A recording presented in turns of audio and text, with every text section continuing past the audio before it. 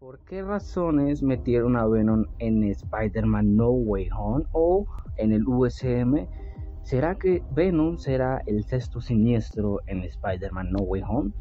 Dicen que será la escena post créditos de Spider-Man No Way Home, pero gente, yo digo que este personaje va a ser el sexto siniestro en Spider-Man No Way Home. Si nos damos cuenta de algunas cositas en los cómics, este personaje Venom empieza a tener una contracción y una, una variedad común a lo que es Spider-Man en el momento en que lo ve, la primera aparición ve a Spider-Man y obtiene su araña, ¿no?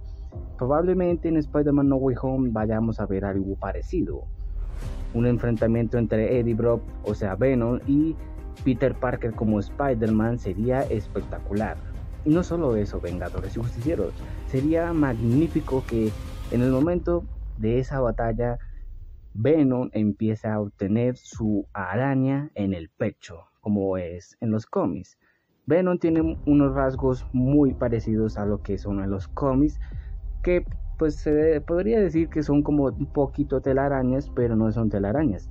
Es como un tipo el rasgo de Venom. Esas cosas blancas que tiene él en el pecho no es la araña, pero si empieza, si empieza a formar con el aráñido de Spider-Man. Es decir, Venom empezaría a tener su propia araña en el pecho, pero esto no quiere decir de que sea bueno, sino obviamente que odia a Spider-Man por alguna razón. Por la primera razón es porque él es más, él es mejor, Spider-Man es mejor que él como simbionte.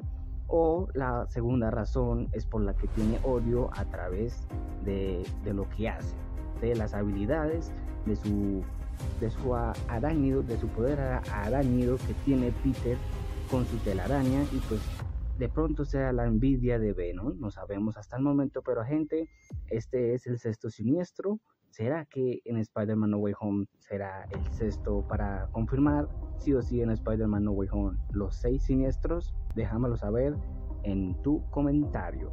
Hasta la próxima.